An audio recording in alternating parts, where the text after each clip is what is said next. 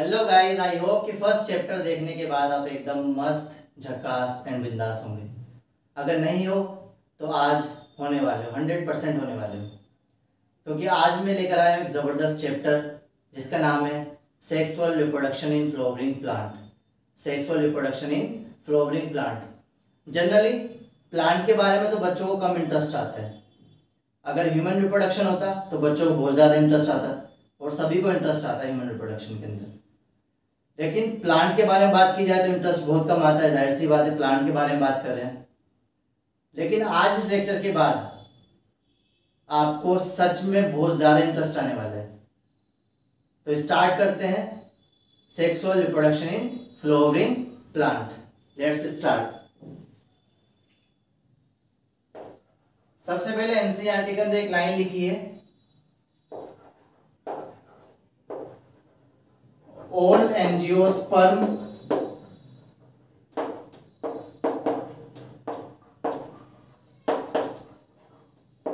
flowering plant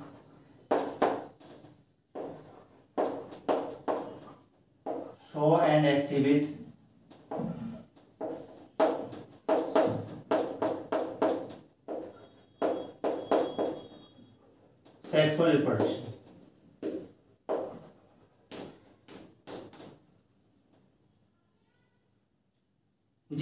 angiosperms होते हैं। Angiosperms का मतलब होता है फ्लोवरिंग प्लांट ऐसे प्लांट जिनके ऊपर फ्लावर आएगा। All angiosperm flowering plant show and exhibit sexual reproduction जितने भी फ्लोवरिंग प्लांट होते हैं, सभी सेक्सुअल रिप्रोडक्शन करते हैं। इसके बाद नेक्स्ट है हमारा events in sexual reproduction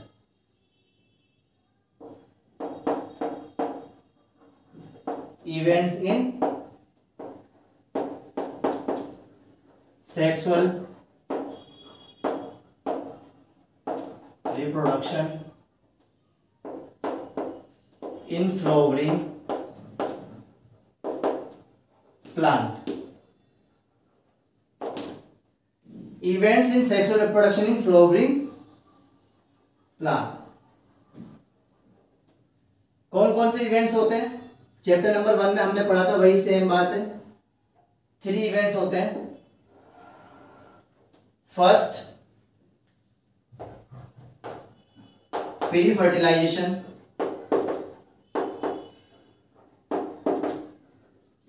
second fertilization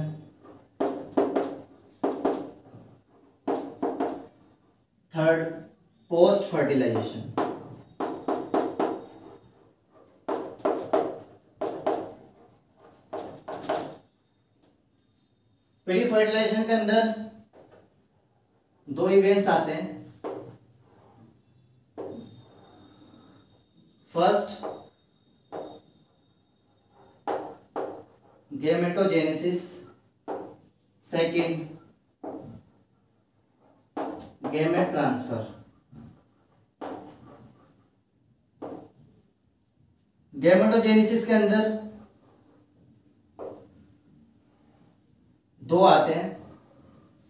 first है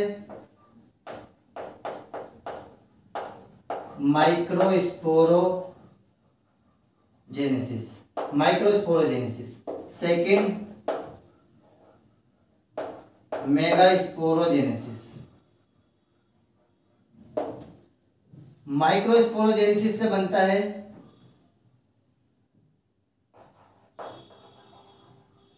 पोलन ग्रेन मेगास्पोरोजेनेसिस से बनता है ओव्यूल और फीमेल गेमेटोफाइट।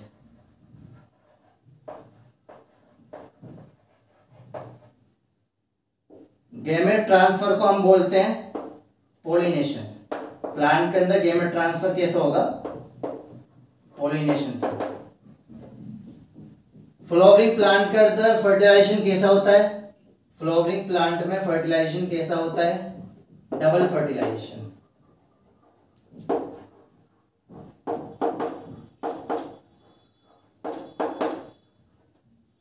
पोस्ट फर्टिलाइजेशन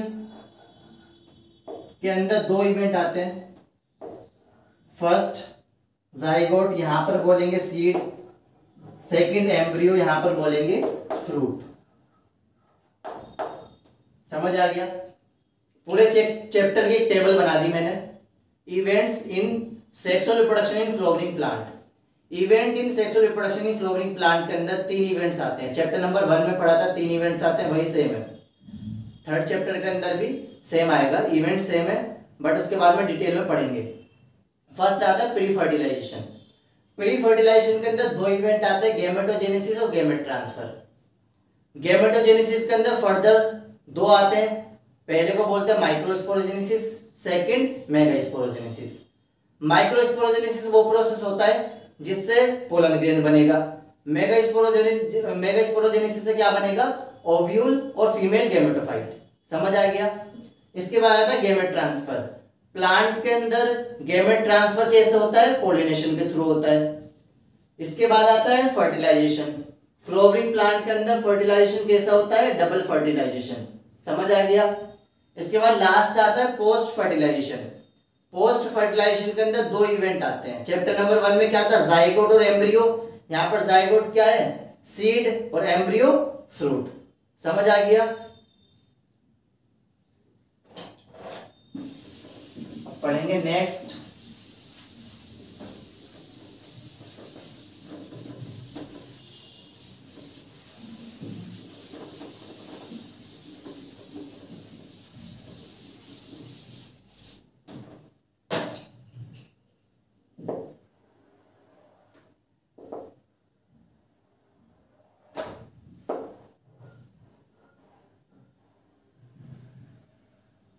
चलो बच्चों।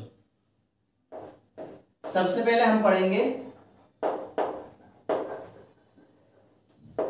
structure and events of pre fertilization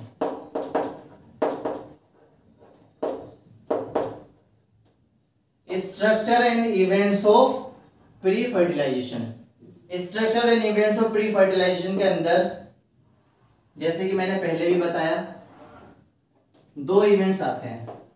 First gametogenesis second gamete transfer gametogenesis के अंदर दो इवेंट आते हैं।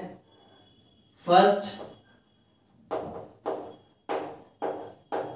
microsporogenesis, second,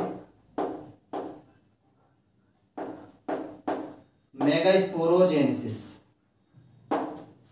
Microsporogenesis में जैसे मैंने पहले बताया, माइक्रोस्पोरोजेनेसिस से क्या बनेगा? पोलन ग्रेन और मेगास्पोरोजेनेसिस से क्या बनेगा? ओव्यूल और फीमेल गेमेटोफाइट और गेमेट ट्रांसफ़र को क्या बोलते हैं? पोलिनेशन समझ आ गया?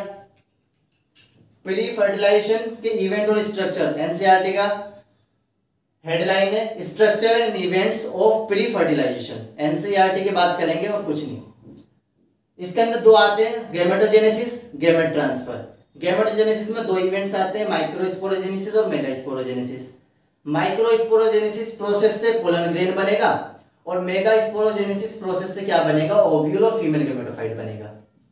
फ्लोवरिंग प्लांट के अंदर गेमेट ट्रांसफ़र कैसे होता है? गेमेट ट्रांसफ़र को क्या बोलते हैं? पोलिनेशन क्या बोलते हैं? पोलिनेशन समझ आ गया? नेक्स्ट गैमेटोजेनेसिस डिटेल में पढ़ेंगे अब। गैमेटोजेनेसिस में मैंने ये तो बता दिया कि पोलन ग्रेन बनेगा माइक्रोस्पोरोजेनेसिस से, लेकिन पोलन ग्रेन बनता किसके अंदर है?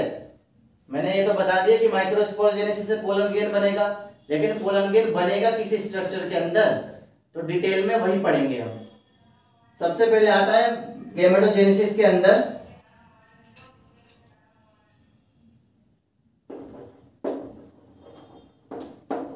एंड्रोसियम क्या आता है? एंड्रोसियम एंड्रोसियम क्या बोलते हैं? मेल पार्ट क्या बोलते हैं? एंड्रोसियम को क्या बोलते हैं? मेल पार्ट बोलते हैं। अब इसके अंदर आता है स्टेमन स्टेमन को क्या बोलते हैं? मेल पार्ट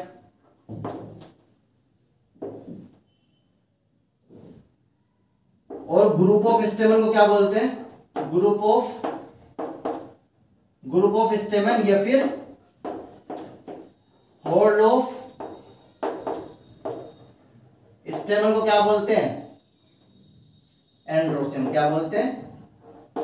एंड्रोसियम समझ आ गया? एंड्रोसियम कहो मेल पार्ट कहो, या फिर ग्रुप ऑफ़ स्टेमन कहो। या फिर स्टेमन कुछ भी कह सकते हैं, साया नाम किसके? मेल पार्ट के। समझ आ गया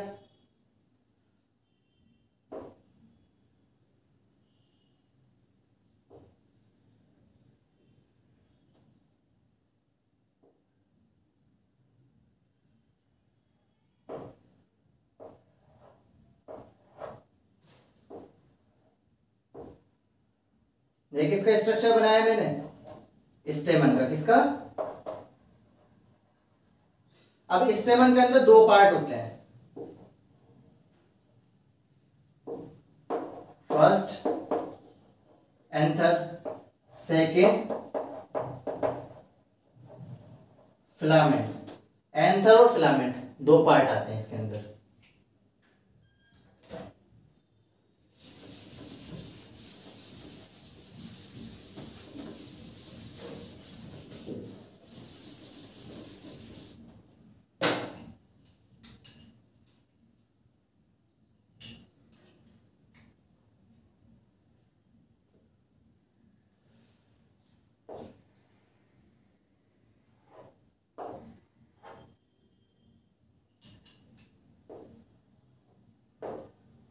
डायग्राम से समझाऊँगा, अच्छे से समझना बिल्कुल। मैंने ये क्या बताया? एंथर और ये क्या बताया? फिलामेंट ये एंथर है, ये फिलामेंट है। अब इसको मैं यहाँ से कट करूँगा। कहाँ से? यहाँ से कट करूँगा देखो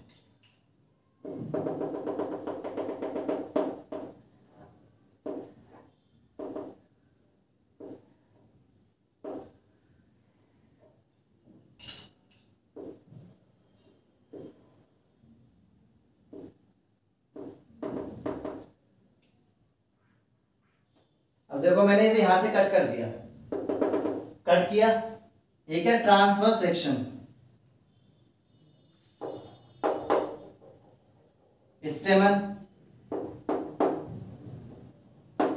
transverse section transverse section ये मैंने कट किया। मान लो स्टेमन इसे यहाँ से कट करूँगा। यहाँ से इसे कट करने के बाद इस तरह दिखा रहा हूँ। समझ आ गया? यहाँ से इसे कट करने के बाद इस तरह सामने से दिखाऊँगा तो ऐसा डायग्राम बनेगा।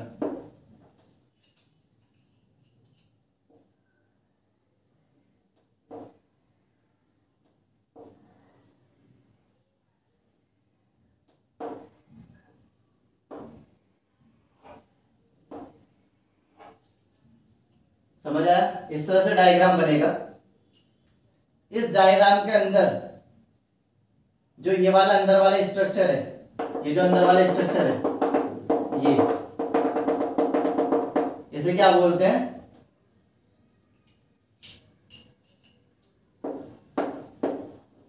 Lobe.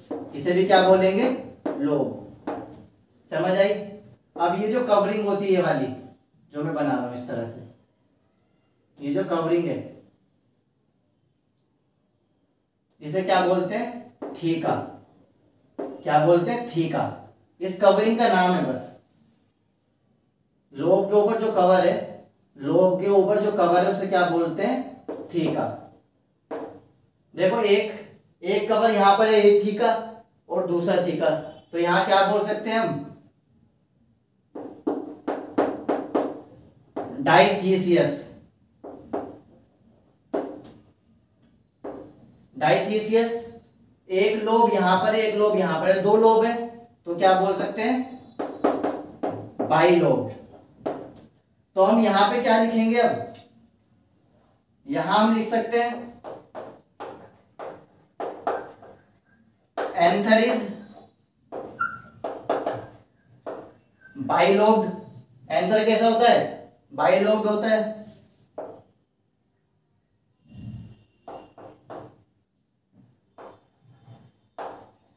Each lobe having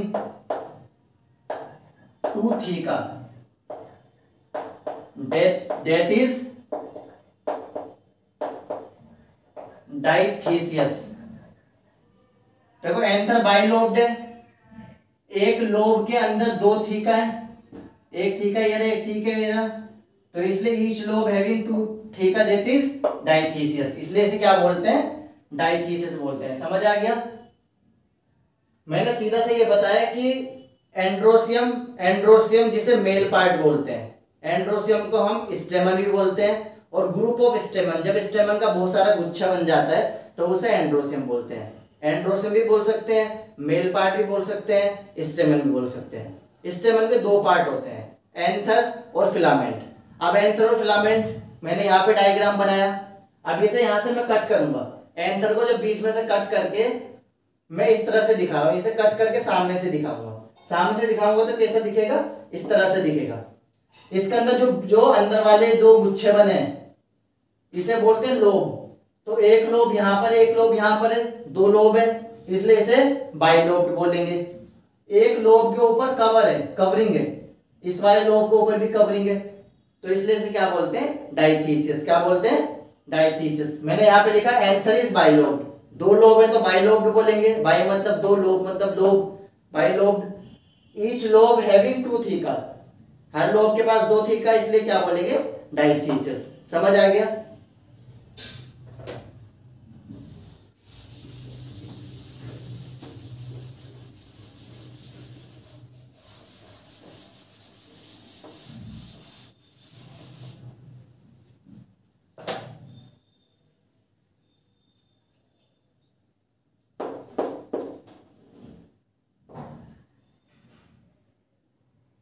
diagram से अच्छे समझ आ जाएगा।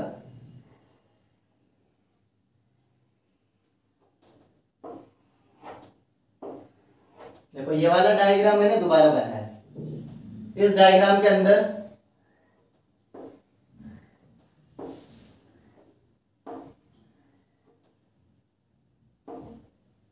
ये जो मैंने गोले गोले बनाए, इसका नाम क्या है? इन्हें बोलते हैं हम माइक्रोस्पोरेंजियम माइक्रोस्पोरेंजियम ये भी क्या है? माइक्रोस्पोरेंजियम ये भी माइक्रोस्पोरेंजियम ये माइक्रोस्पोरेंजियम चार माइक्रोस्पोरेंजियम तो मैं यहाँ पे क्या लिख सकता हूँ?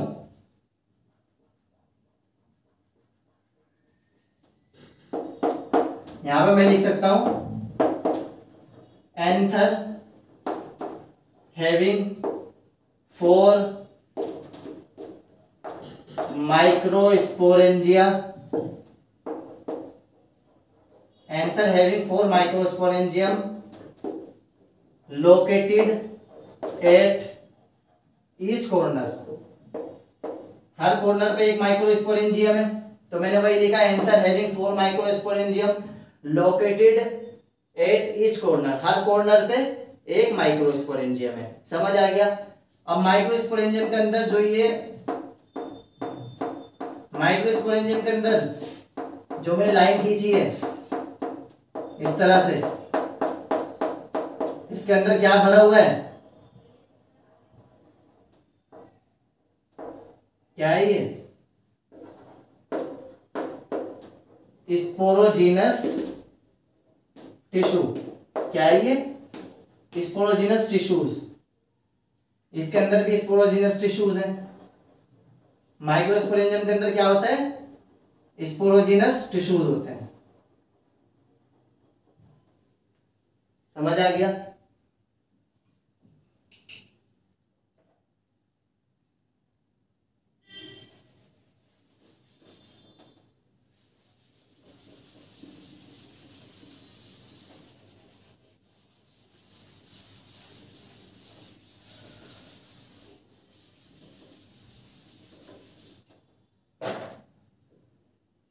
इसके बाद हम लिखते हैं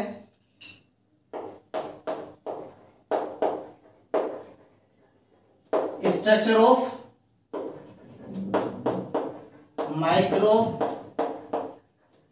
microsporangium structure of microsporangium क्या लिखा स्ट्रक्चर ऑफ़ माइक्रोस्पोरेंजियम जो मैंने यहाँ पे डायग्राम बनाया ये क्या होता है माइक्रोस्पोरेंजियम अगर मैं इसे जूम करके दिखाऊँगा तो कैसा दिखेगा अगर मैं इसे जूम करके दिखाऊँगा जूम करके दिखाऊँगा तो ये कुछ इस तरह का दिखेगा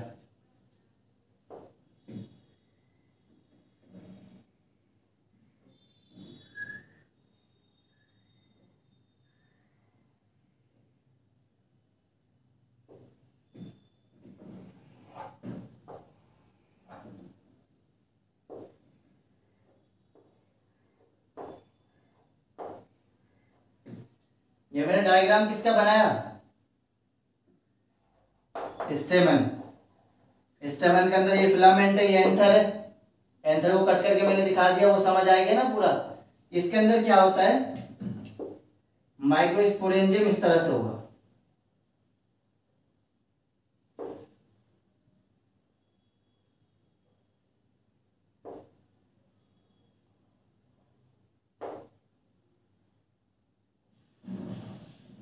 समझ आया? ये क्या है? Microsporangium. थोड़ा सा मैंने उसे जूम करके दिखाया, बस माइक्रोस्पोर स्पोरेंजियम को। जूम करके दिखा दिया। अभी इसे और ज़्यादा जूम करेंगे। इस वाले को थोड़ा और जूम करेंगे माइक्रोस्कोप के अंदर। इस वाले को और माइक्रोस्कोप के अंदर देखेंगे तो कैसा दिखेगा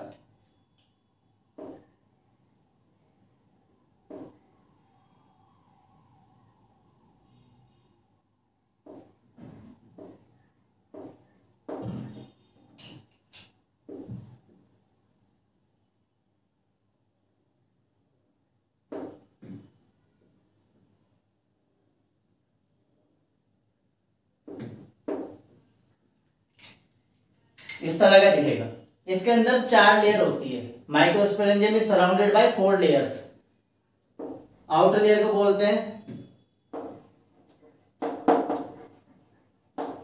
एपिडर्मिस फिर आता है। एंडोथीसियम फिर मिडल लेयर लास्ट में आता है। इसके ऊपर एक कवरिंग होती है। इस तरह से। इनर मोस्ट लेयर को क्या बोलते हैं? टेपेटम ये तीनों क्या है? आउटर लेयर क्या है? आउटर लेयर और ये इनर लेयर समझ आ गया? देखो, सीधा सा फंडा ये है। सबसे पहले मैंने एंथर दिखाया। एंथर को यहाँ से कट किया। कट करने के बाद सामने से दिखाया। सामने से दिखाने के बाद कुछ इस तरह का दिखता है। समझ आ गया? इसमें मैंने बताया लोब। बाई लोब होता है, डाइथीसिस होता है। उसके बाद जो गोले गोले मैंने बनाया ना चारों तरफ़, उसे बोलते हैं स्पोरेंजियम। क्या बोलते हैं? स्पोरेंजियम। क्या बोलते हैं? स्पोरेंजियम। हाँ। तो मैंने लिखा anther having four microsporangium located at each corner हर कॉर्नर पे एक माइक्रोस्पोरेंजियम है। तो मैंने वही चीज़ यहाँ पे लिखी है। अब इस माइक्रोस्पोरेंजियम को थोड़ा सा जूम करके दिखाऊँगा माइक्रोस्कोप के अंदर तो कुछ इस तरह का दिखेगा। कंफ्यूज मत होना इसको लेके कि ये वाले स्ट्रक्चर और ये वाले स्ट्रक्चर दोनों सेम है। ये वाले स्ट्रक्चर ये वाले स्ट्रक्चर सेम है। कंफ्यूज मत होना इसके अंदर है ये स्पोरेंजियम इसके अंदर है स्पोरेंजियम स्पोरेंजियम की शक्ल भी कुछ इसकी तर, इसकी तरह होती है। एंथर को जब ट्रांसफर्स कट करते हैं ना तो इसकी तरह दिखती है इसका स्ट्रक्चर भी। समझ आ गया? देखो स्पोरेंजियम के अंदर sporangium is surrounded by four layer sporangium के चारों तरफ़ चार लेयर होती है। Outer epidermis endothecium middle layer tapetum चार लेयर्स होती हैं। Outer three layers epidermis endothecium middle layer और जो इनर मोस्ट लेयर होते हैं टेपेटम बोलते हैं। अब यहाँ पे बात करते हैं कि इनका फ़ंक्शन क्या होता है।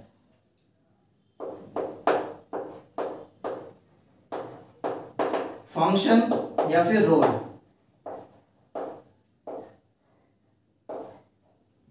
जो आउटर लेयर है आउटर लेयर के दो फ़ंक्शन होते हैं। क्या होते हैं? दो फ़ंक्शन होते हैं। फ़र्स्ट होता है इसका protection second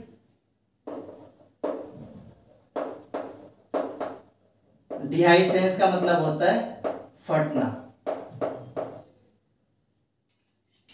inner most layer inner layer का फ़ंक्शन होता है न्यूट्रिशन प्रोवाइड करना। इतना समझ आ गया? समझ आ गया नहीं? वेरी गुड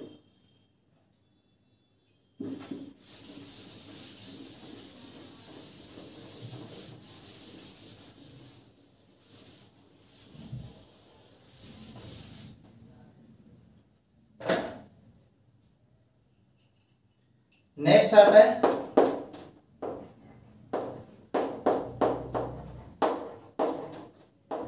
माइक्रोस्पोरो जेनेसिस माइक्रोस्पोरोजेनेसिस का मतलब नाम से पता लग रहा है. The process of formation of microspore from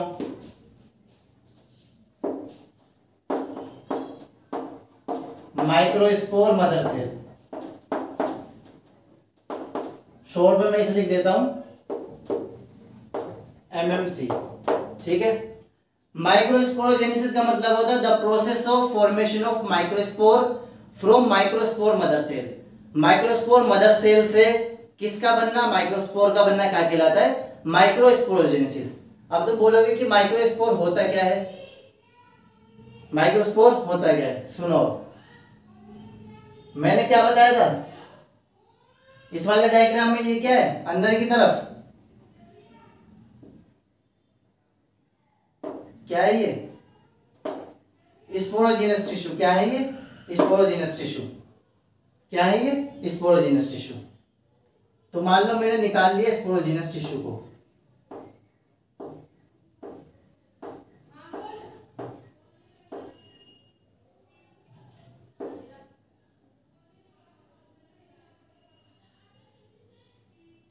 ये क्या है?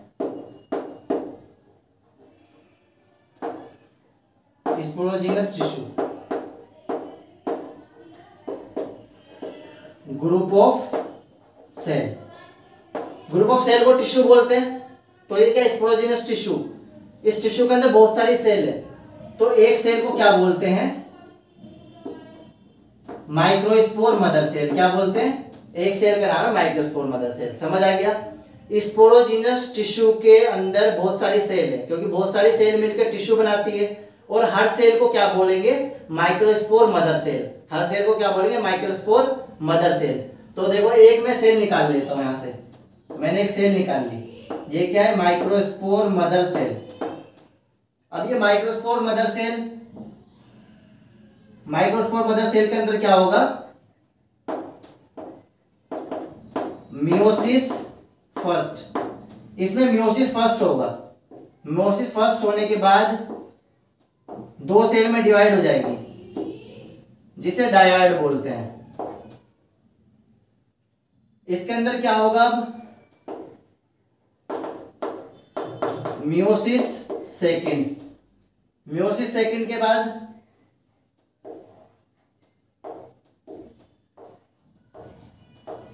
चार सेल बनेगी। इसे बोलते हैं हम माइक्रोस्पोर टेट्रार्ड समझ आ गया? सबसे पहले स्पोरोजिनस टिश्यू स्पोरोजिनस टिश्यू से एक सेल को निकाला, उसे बोलते हैं माइक्रोस्पोर मदर सेल उस सेल के अंदर सबसे पहले म्योसिस फ़र्स्ट होगा। म्योसिस फ़र्स्ट से एक सेल दो में डिवाइड हो जाएगी।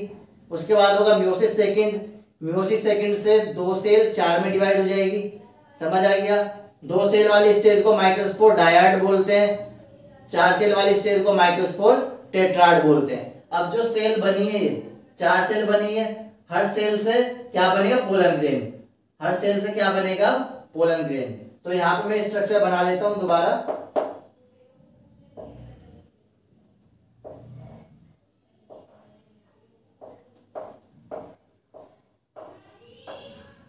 ये जो टेट्राइड यहाँ पे बना है, इससे क्या बनेगा? इसके अंदर होगा सेल डिवीज़न। सेल डिवीज़न होगा, सेल डिफ्रेंशिएशन होगा। सेल डिवीज़न, सेल डिफ्रेंशिएशन करके क्या बनेगा? Pollen grain.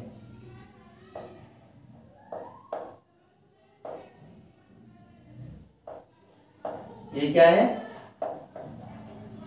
Pollen grain. समझ आ गया? हर सेल से पोलन ग्रेन बनेगा। तो अब मैं क्या बोल सकता हूँ?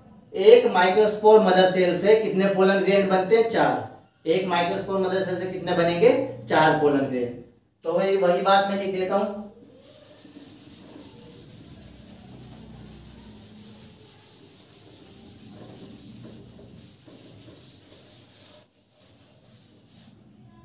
इसमें मैं नोट डाल के लिख लिख देता हूँ।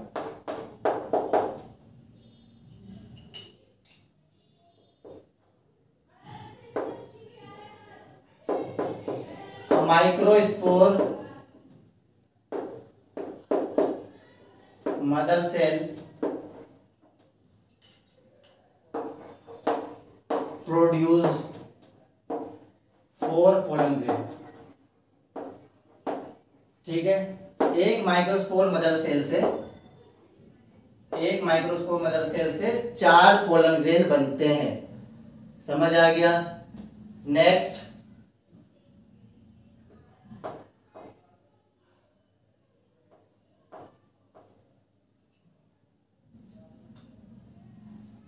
अब बात करते हैं पोलन ग्रेन की। इसकी बात करेंगे? पोलन ग्रेन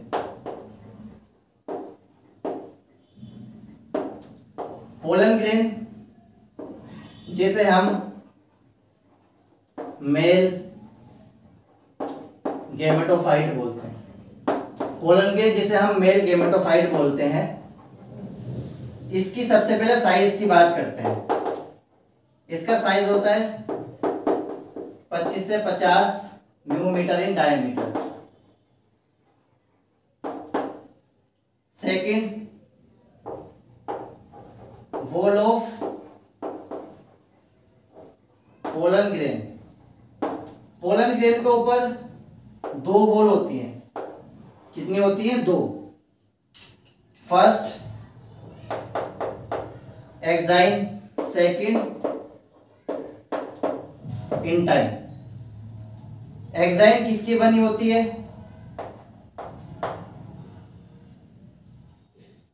स्पोरो पोलेनिन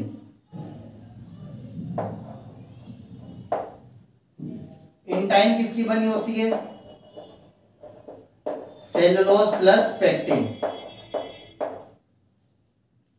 एग्जाइन का काम क्या होता है रेसिस्टेंट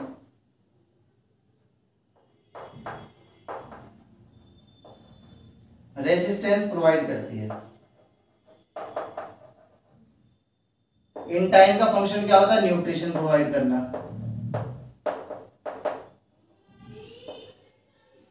समझ आ गया? पोलन ग्रेन जिसे मेल गेमेटोफाइट भी बोलते हैं पोलन ग्रेन का साइज़ होता है 25 से 50 म्यूमीटर इन डायमीटर समझ आ गया? पोलन ग्रेन के ऊपर दो लेयर होती है. फ़र्स्ट आउटर लेयर को बोलते हैं एक्साइन और इनर लेयर को बोलते हैं इंटाइन एक्साइन क्या होती है? Outer layer outer layer intine क्या होती है? इनर लेयर समझ आ गया? आउटर लेयर को एक्साइन बोलते हैं और इनर लेयर को इंटाइन बोलते हैं. आउटर लेयर किसकी बनी होती है? स्पोरोपोलेनिन स्पोरोपोलेनिन एक हार्डेस्ट सब्सटेंस होता है, जो पोलन ग्रेन को बचाता है एसिड रेन से, जो बाहर का इन्वायरमेंट होता है एल्कली होता है एसिड रेन होता है, और बहुत सारा हार्श जो इन्वायरमेंट होता है, उससे बचाता है पोलन ग्रेन को. समझ आ गया? अब इंटाइन इंटाइन किसकी बनी होती है? सेलुलोज और पेक्टिन की बनी होती है। सेलुलोज और पेक्टिन बायोमोलिक्यूल है सेलुलोज पेक्टिन भी बायोमोलिक्यूल है। तो ये दोनों क्या करते, काम करेंगे? न्यूट्रिशन प्रोवाइड करेंगे। पोलन ग्रेन को न्यूट्रिशन प्रोवाइड करते हैं। समझ आ गया? Next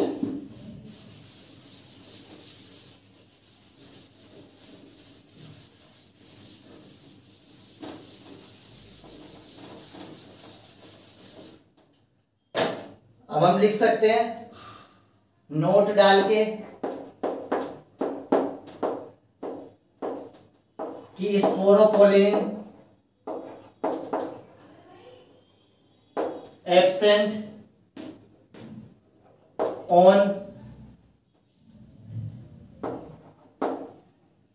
some place of pollen grain pollen grain के कुछ जगह पर स्पोरोपोलिन एब्सेंट होता है। सपोज़ ये मैंने डायग्राम बनाया।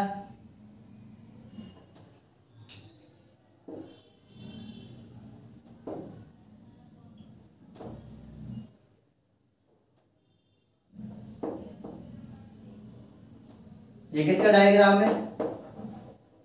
पोलन ग्रेन पोलन ग्रेन के आउटर वाली लेयर को क्या बोला मैंने? ये है एक्साइन किसकी बनी है?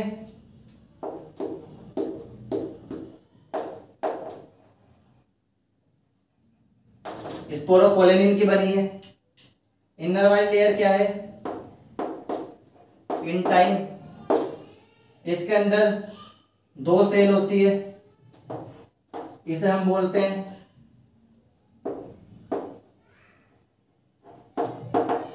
जनरेटिव सेल इसे हम बोलते हैं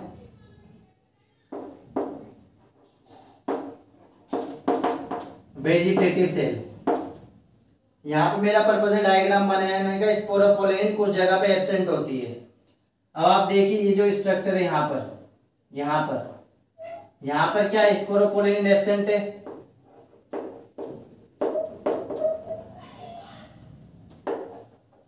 स्पोरोपोलिन यहाँ पे क्या है? एब्सेंट है। स्पोरोपोलिन यहाँ पे एब्सेंट क्यों है? क्योंकि यहाँ से पोलन ट्यूब जर्मिनेट होगी। यहाँ से क्या होगा? यहाँ से पोलन ट्यूब जर्मिनेट। यहाँ से पोलन ट्यूब जर्मिनेट होगी, इसलिए यहाँ पर स्पोरोपोलिन एब्सेंट होता है। डायग्राम मैंने बना दिया। पोलन गेन का डायग्राम आउटर लेयर को एक्साइन बोलते हैं इनर लेयर को इंटाइन बोलते हैं। आउटर लेयर स्पोरोपोलिन की बनी होती है इनर लेयर सेलुलोज और पेक्टिन की बनी होती है। आउटर लेयर हार्ड होती है, जो रेसिस्टेंट प्रोवाइड करेगी। और इनर लेयर सेलुलोज पेक्टिन की बनी होती है, वो न्यूट्रिशन प्रोवाइड करेगी। अब जैसे कि मैंने बताया आउटर लेयर हार्ड होती है। हार्ड होती है तो पोलन ट्यूब कहाँ से जर्मिनेट होगी? पोलन ट्यूब कैसे निकलेगी? हार्ड होगी तो। तो पोलन ग्रेन के कुछ प्लेसेस पर स्पोरोपोलिन एब्सेंट होता है। जैसे यहाँ पर एब्सेंट है, यहाँ पर एब्सेंट है, यहाँ पर एब्सेंट है। समझ आ गया? तो यहाँ से क्या निकलेगी? पोलन ट्यूब निकलेगी। क्योंकि यहाँ पर अगर यहाँ पर स्पोरोपोलेनिन होगा एग्ज़ाम यहाँ पर होगा तो पोलन ट्यूब निकल ही नहीं सकती। समझ आ गया? नेक्स्ट।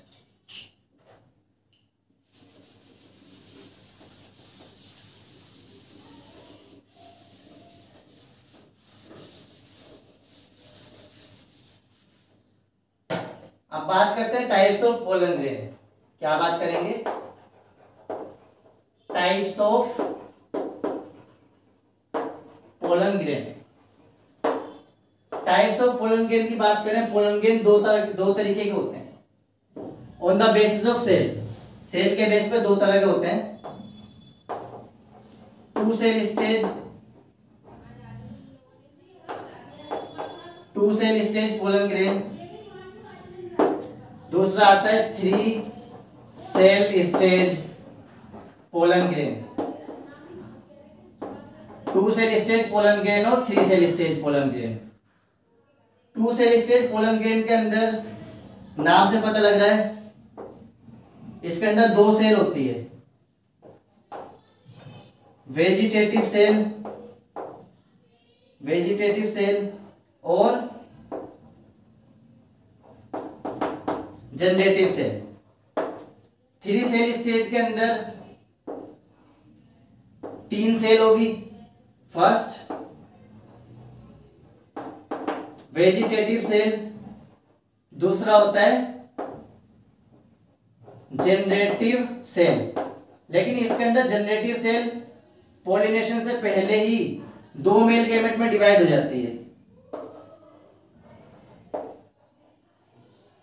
मेल गेमेट, यहाँ भी मेल गेमेट। ठीक है? तो ये भी क्या है? दोनों सेल है। क्या है समझ आ गया? मैंने क्या बताया? Types of pollen grain pollen grain on the basis of cell cell के बेस पे पोलन ग्रेन दो तरीके के होते हैं। First two cell stage pollen grain second three cell stage pollen grain two cell stage pollen के नाम से पता लग रहा है, इसके अंदर दो सेल होगी। First vegetative cell second generative cell three cell stage pollen grain के अंदर तीन सेल होती है। फ़र्स्ट वेजिटेटिव सेल दूसरा जनरेटिव सेल लेकिन इसके अंदर जनरेटिव सेल पोलिनेशन होने से पहले ही दो सेल में डिवाइड हो जाती है मेल गेमेट समझ आ गया? जनरेटिव सेल दो में डिवाइड हो जाती है, दो मेल गेमेट बना लेती है। तो दो सेल यहाँ पर, एक सेल ये दी एक, दो, तीन तीन सेल स्टेज, और ये टू सेल स्टेज। जो टू सेल स्टेज वाले पोलन ग्रेन होते हैं, टू सेल स्टेज वाले पोलन ग्रेन कितने होते हैं? सिक्सटी परसेंट एंजियोस्पर्म के अंदर टू सेल स्टेज वाले होते हैं, और थ्री सेल स्टेज वाले कितने होते हैं? Forty percent. फोर्टी परसेंट में थ्री सेल स्टेज वाले पोलन ग्रेन होते हैं, और सिक्सटी परसेंट में टू सेल स्टेज वाले पोलन ग्रेन होते हैं। समझ आ गया? चलो नेक्स्ट आगे बढ़ते हैं। अब हम बात करेंगे विएबिलिटी ऑफ़ पोलन ग्रेन किसकी? Viability of pollen grain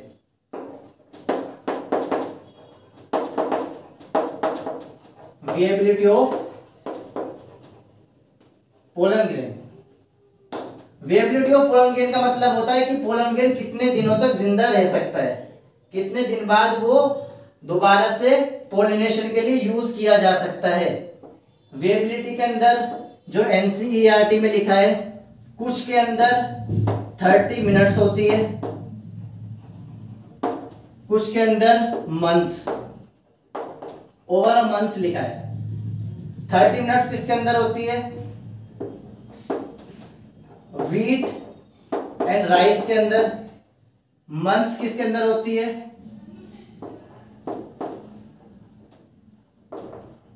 Solanaceae लेग्यूनेसी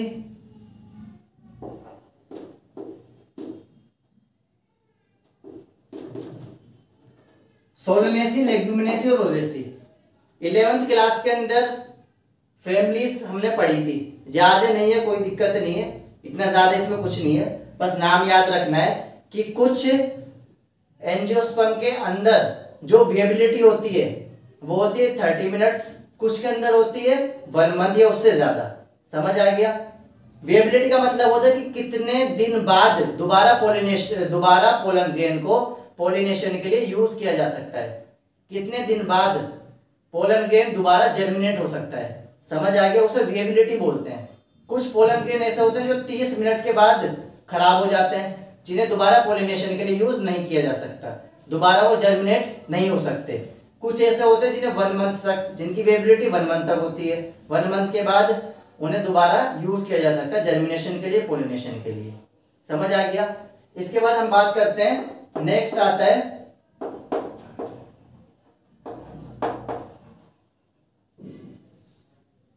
how? Pollen grain? Store. As a pollen bank.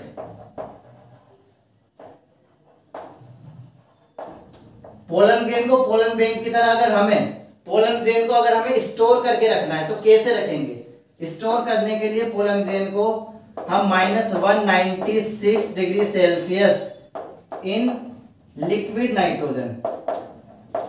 Liquid liquid nitrogen में minus one degree Celsius temperature पर हम पोलन ग्रेन को स्टोर करके रख सकते हैं लेबोरेटरी के अंदर। उसके बाद उसे जब हम चाहें, उसका यूज़ कर सकते हैं जर्मिनेशन के लिए और पोलिनेशन के लिए। समझ आ गया? Next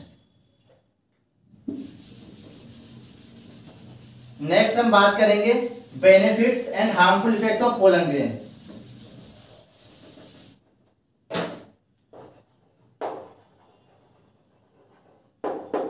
benefits and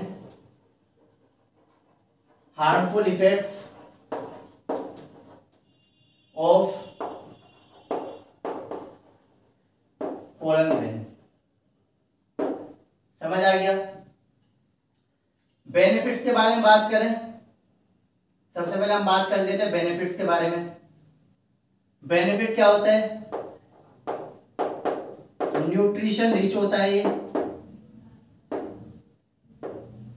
nutrition rich होता है तो न्यूट्रिशन प्रोवाइड करेगा। किस फॉर्म में अवेलेबल होता है? Available in the form of tablets and syrup tablets और सिरप की फॉर्म में अवेलेबल होता है। कहाँ पर ज़्यादा अवेलेबल होता है? वेस्टर्न कंट्रीज़ वेस्टर्न कंट्रीज़ के अंदर सबसे ज़्यादा अवेलेबल होता है। जनरली कौन यूज़ करते हैं? Horse ride and athletes harmful effect की बात करें, कुछ पोलन ग्रेन ऐसे होते हैं some pollen grain some pollen grain cause allergy. कुछ पोलन ग्रेन एलर्जी करते हैं, क्या नाम है उन पोलन ग्रेन का? पार्थेनियम। पार्थेनियम का दूसरा नाम क्या है? Carrot grass. पार्थेनियम को कैरट ग्रास भी बोलते हैं। ये क्या काम करता है? अगर कोई इसे खा लेगा तो क्या करेगा? अस्थमा करेगा। डिफिकल्टी इन ब्रीथिंग हो जाएगी। डिफिकल्टी इन ब्रीथिंग समझ आ गया? तो इसीलिए कुछ पोलन ग्रेन ऐसे होते हैं जो न्यूट्रिशन से रिच होते हैं, लेकिन कुछ पोलन ग्रेन ऐसे होते हैं जो हार्मफुल इफ़ेक्ट प्रोड्यूस करते हैं। क्या काम करेंगे? एलर्जिक रिएक्शन प्रोड्यूस करेंगे।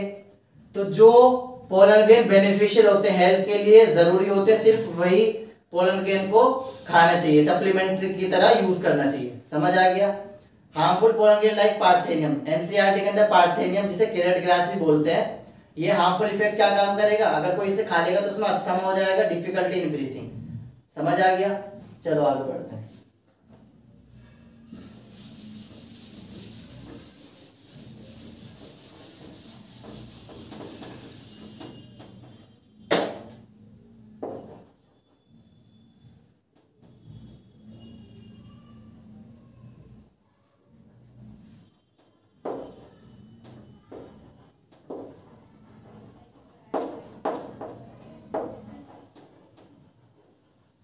बात करते हैं मेगा स्पोरोजेनेसिस क्या बात करेंगे? मेगा स्पोरोजेनेसिस मेगा स्पोरोजेनेसिस का मतलब होता है the process of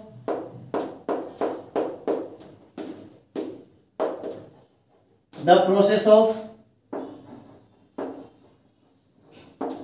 formation of megaspore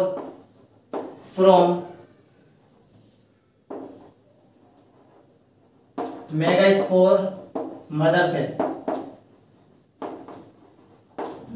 इसे मैं स्मॉल एमएमसी से रिप्रेजेंट कर देता हूँ। मेगा मेगास्पोरोजेनेसिस का मतलब होता है the process of formation of megaspore from megaspore mother cell megaspore mother cell से किसका बनना? मेगा मेगास्पोर्स का बनना क्या कहलाता है? मेगा मेगास्पोरोजेनेसिस माइक्रोस्पोरोजेनेसिस कंप्लीट हो गया। इतना सफिशिएंट है। मेगास्पोरोजेनेसिस की बात करते हैं। मेगास्पोरोजेनेसिस में मैंने क्या बोला? इसके अंदर सबसे पहले एक सिंगल सेल होगी।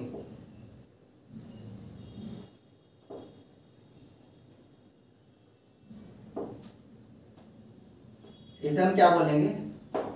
मेगास्पोर मदर सेल ये मेगास्पोर मदर सेल है। मेगास्पोर मदर सेल में क्या होगा? मियोसिस फ़र्स्ट मियोसिस फ़र्स्ट होने के बाद एक से दो में डिवाइड हो जाएगी। इसके बाद क्या होगा? म्योसिस सेकंड क्या होगा? म्योसिस सेकंड म्योसिस सेकंड के अंदर चार में डिवाइड हो जाएगी। इन चार में से जो थ्री होती हैं three are degenerate three degenerate हो जाएगी, खत्म हो जाएगी। थ्री क्या हो जाती है? डिजेनरेट हो जाती है, खत्म हो जाती है। One functional.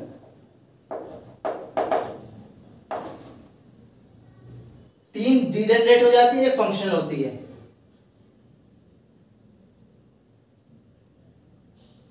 तो यहाँ पे हम नोट में लिख सकते हैं।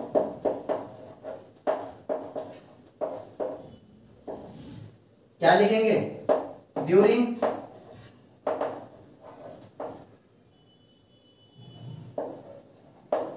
during megasporogenesis during megasporogenesis one of the megaspore one of the megaspore is functional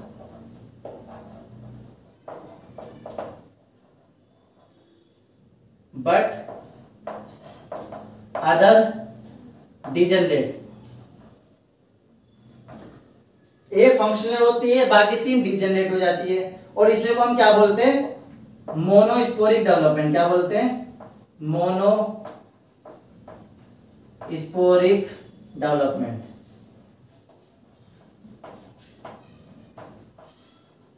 समझ आ गया? जो मैंने डायग्राम बनाया किसका बनाया? मेगा स्पोरोजेनेसिस मेगा स्पोरोजेनेसिस के अंदर देखो, सबसे पहले मेगा स्पोर मदर सेल है। एक मेगा स्पोर मदर सेल के अंदर क्या हुआ? म्योसिस फ़र्स्ट म्योसिस फ़र्स्ट से एक सेल दो में डिवाइड हो गई। उसके बाद क्या हुआ? म्योसिस सेकंड तो दो सेल चार में डिवाइड हो गई। चार में तो डिवाइड हो गई लेकिन तीन डिजेनरेट हो गई। सिर्फ़ एक फंक्शनल है। माइक्रोस्पोरोजेनेसिस में क्या हुआ था? तीनों की तीनों फंक्शनल थी। वो चार की चार फंक्शनल थी उसके अंदर। जो माइक्रोस्पोर टेट्राड बना था, चारों की चार फंक्शनल थी। चार पोलन ग्रेन बने थे। लेकिन इस केस में यहाँ पर ऐसा नहीं होगा। इसमें चार में से तीन तो डिजेनरेट हो जाएगी, खत्म हो जाएगी।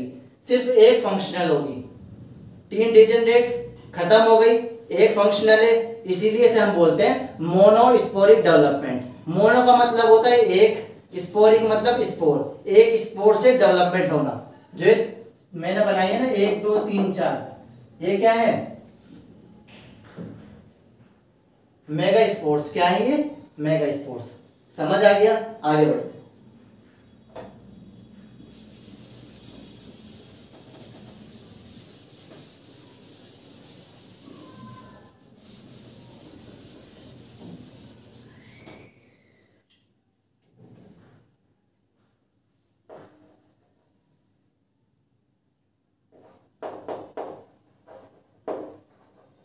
एम्ब्रियोसेक इसे हम बोलते हैं फीमेल गेमेटोफाइट एम्ब्रियोसेक जिसे हम बोलते हैं फीमेल गेमेटोफाइट जो मैंने यहाँ पे बात की मोनोस्पोरिक डेवलपमेंट एक स्पोर से पूरा का पूरा क्या बनेगा? एम्ब्रियोसेक जो एक सिंगल स्पोर से पूरा एम्ब्रियोसेक बनेगा। अब कैसे बनेगा? उसे स्ट्रक्चर के थ्रू बताता हूँ मैं डायग्राम के थ्रू सबसे पहले देखो। ये मैंने डायग्राम बनाया था अभी। इसमें तीन डिजनरेट हो जाएगी, खत्म हो जाएगी। सिर्फ़ एक क्या है? फंक्शनल तो वो फंक्शनल मैंने यहाँ पे बनाई। एक सेल इसके अंदर further cell division cell differentiation होने के बाद एक सेल दो न्यूक्लियस फर्दर होगा। एक सेल चार न्यूक्लियस फर्दर एक सेल के अंदर पाँच छ सात, आठ। इस स्टेज के आने के बाद इसमें further cell division cell differentiation होगा और एक प्यारा सा स्ट्रक्चर बनेगा।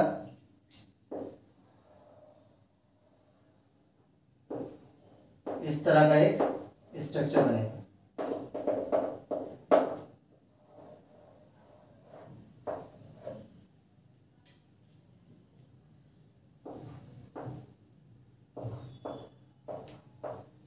इसे हम बोलते हैं एग सेल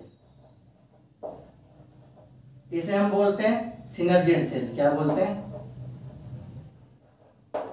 सिनर्जेड सेल यह है पोलर न्यूक्लियाई पोलर न्यूक्लियाई यह है एंटीपोडाल सेल एंटीपोडाल सेल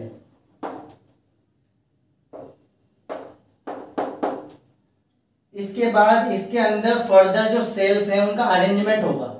इन सेल्स का फर्दर अरेंजमेंट होगा और किस तरह का स्ट्रक्चर दिखेगा, देखो। एक ज़बरदस्त स्ट्रक्चर सामने आएगा। बहुत खूबसूरत सा।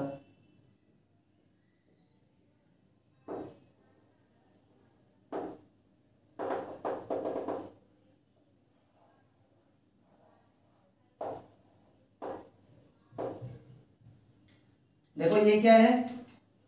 इसके बाद स्ट्रक्चर बना। ये है पोलर न्यूक्लियाई ये एंटीपोडाल सेल तीनों एंटीपोडाल सेल ये सिनर्जिड सेल ये एग सेल और यहाँ पे एक और स्ट्रक्चर बनता है, उसे बोलते हैं फिलीफॉर्म एपरेटस फिलीफॉर्म एपरेटस बनता है। समझ आया? और इसे हम बोलते हैं eight nucleated seven cell stage जो हमारा फीमेल गेमेटोफाइट होता है जो एम्ब्रियो सेक होता है, उसके अंदर आठ न्यूक्लियस होते हैं और सात सेल होती हैं। क्योंकि एक सेल के अंदर जो पोलर न्यूक्लिया एक सेल है, उसके अंदर दो न्यूक्लियस होते हैं। तो इसलिए उसे एक सेल में काउंट करेंगे दो न्यूक्लियस। समझ आया? इसीलिए इसे हम बोलते हैं eight nucleated seven cell stage. समझ आ गया? आई होप कि आप सबको चैप्टर समझ आया होगा, इंटरेस्टेड लगा होगा।